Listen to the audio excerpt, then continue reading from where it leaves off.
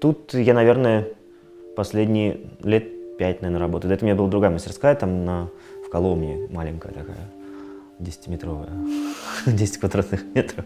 Я там писал, ну, уже такие довольно большие холсты, и так это было так компактно. Кстати, нужно было перемещать, перевешивать, но здесь, конечно, гораздо больше места.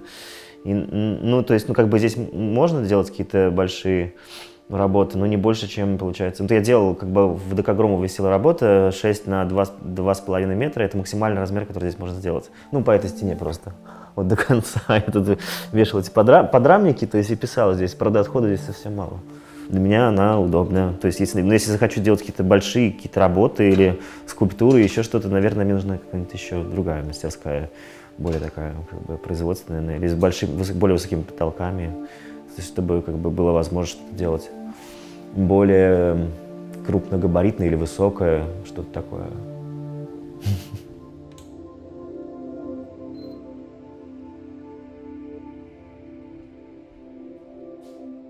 Ну, мы находимся у меня в мастерской, и вот э, я могу рассказать, где, где что у меня располагается и, и в каких э, зонах э, я занимаюсь разными какими-то практиками. Вот ну, стол такой вот э, производственный.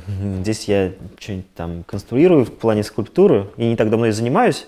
Вот. И, собственно, за этим столом я это все собираю из там полимерной глины, дерева, там, ну, то есть как бы просто за этим столом это удобно делать. Меня как раз это тут и валяется. Склеиваю, то есть как-то, ну так, вот. Тут э, такая зона. Тут у меня стоят всякие разные разбавители, э, масло льняное, какие-то всякие пигменты, там, не знаю, краски, что еще? Ну, какие-то вот эти всякие различные материалы для живописи и для всего остального.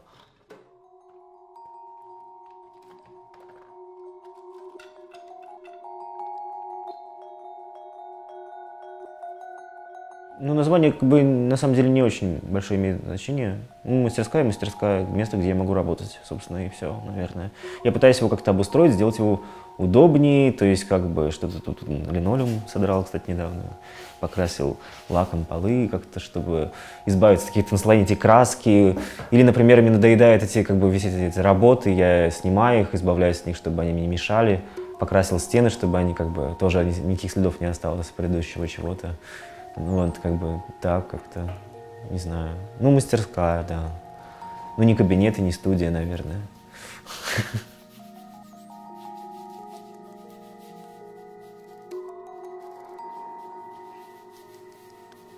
Какие-то эскизы, графику, вот он тут как раз валяется, какие-то подготовительные, какие-то почеркушки или скетчи я просто делаю на полу тут же. То есть натянув холст, то есть и задумаю, что там делать, как бы я тут же на полу как бы могу что-то нарисовать э, примерно то, что я хочу сделать. То есть это прямо на полу часто всего, чаще всего и остается, валяется, потом затаптывается ногами, потому что краска бывает падает на пол, то есть я разношу ее уже как бы на, на, на обуви по всей мастерской, и тут все как бы немножко так как бы превращается в такой хаос красочный, э, в который попадают и эскизы, и все остальное. Вот. Тут все достаточно просто. То есть есть стена, я натягиваю просто на степ прям холст, то есть каждый раз так происходит. То есть как бы холст такого размера, такого, ну как бы это вариативно. То есть от, не знаю, от чего зависит, от того, какой есть кусок этого холста. Ну и, собственно, с левой стороны у меня э, краски, ну, которые вот на этой вот как бы шкафчике на этом на колесиках э, катающемся из поли, палитра. Тут валялась какая-то мраморная плита, я использовал как ее палитру. Удобно, кстати, там ножиком просто чищаешь и все. То есть, ну, как, вот в этой зоне у меня, то есть я и занимаюсь, собственно, живописью. Как бы часто просто краски у меня единственное, что они падают, э, ну, то есть, как бы они, ну, то есть мне трудно бывает за этим уследить. Тюбики разлетаются по всей мастерской просто потому, что их там роняю везде как-то процессе работы, закрываю, забываю закрывать колпачком, и потом на них наступаю, у меня краска В этом есть проблема, кстати, потому что как-то вот не могу за этим уследить, за этим всем, как бы, такими нюансами.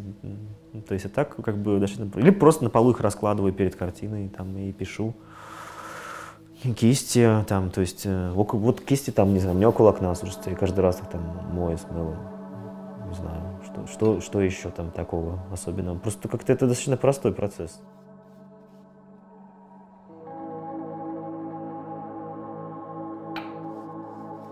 Ну, есть какой-то сюжет там в голове, либо какая-то фотография, которую, там, не знаю, допустим, мне понравилась цветом, фигурами, что еще. А потом просто я пишу сразу на холсте. Ну, какой-то рисунок, там и прям сразу как-то тряпкой растираю краску или этим а, шпателем в последнее время как-то полюбил тоже что-то делать. И там уже как получится. То есть нет каких-то специальных, каких-то слишком продуманных эскизов, немножко все получается спонтанно. Ну, прям в формате, прям на месте. Ну, там может перекрашиваться э, сверху, там можно долго с этим возиться, там как бы одна картина на другую наслаивается. Там, ну, это мне так было. Что, получается, на одной картине там несколько картин друг под другом.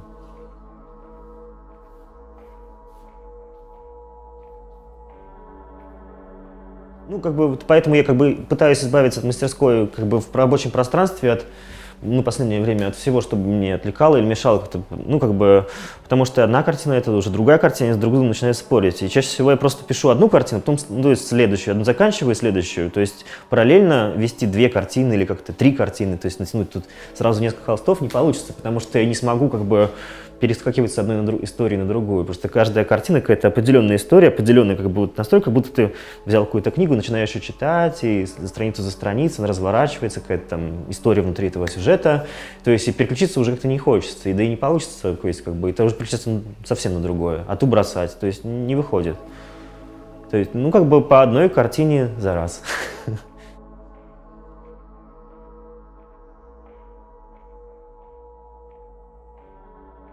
Как-то раз мы снимали или где я был в резиденциях, допустим, каких-то, там место очень влияет на то, как ты это работаешь. Собственно, на все, что будет изображено на холсте, потому что, ну, как бы здесь и сейчас. Я так, в принципе, всегда делаю живопись здесь и сейчас, как бы в зависимости от ситуации, обстоятельств, буквально сейчас меня, в чем я нахожусь. То есть, как бы, это сразу сказывается на колорите, на способе рисования, на всем вообще. То есть так же и здесь. То есть, но здесь как-то уже привычно, я уже здесь давно. И как-то, не, не знаю, может, чего-то не замечаю. Ну, то есть есть какое-то какое определенное свойство этого места, и в этом месте у меня именно такие картины. Но вот если пойду куда-нибудь там, как вот э, сейчас мы с Женей как рисуем, это будет другое уже, там немножко иначе все складывается, что это немножко другой контекст, другой город, там, другое пространство, высокие потолки, производственное помещение, это все очень сильно влияет. Но здесь такой уют, не то что уютный, как сказать, ну привычное что-то как-то вот, даже уже как-то не, не... Поэтому мне наверное, захотелось его как-то немножко обновить, покрасить, что-то с ним сделать, чтобы как-то поменять немножко место само.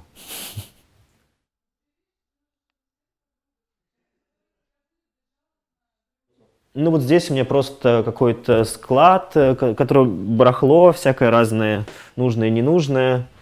А, в котором все это просто здесь это как-то хранится, какие-то материалы, еще что-то, вещи, чтобы как бы расчистить то пространство, и там в том пространстве ничего бы не мешало для работы, только как бы холсты, краски и все, как бы было совершенно пустым. Какая-то мебель старая, вот, не знаю, здесь у меня какие-то ведра, что-то тут э, разные скульптуры какие-то делал, экспериментировал. Тут у меня висит э, рабочая одежда. Тут сохнут кисти у окна.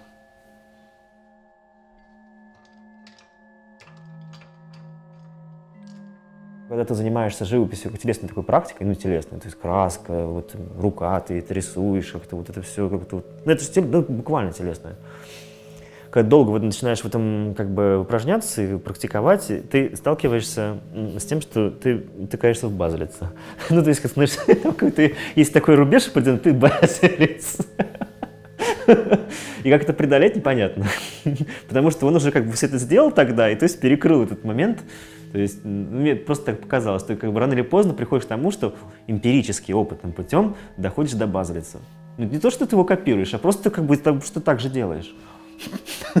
Не то, что ты делаешь так же, как он, то изобразительно, просто как бы по ощущениям, по той интонации, по каким-то вещам, к которым пришел, приходишь тоже ты и ты.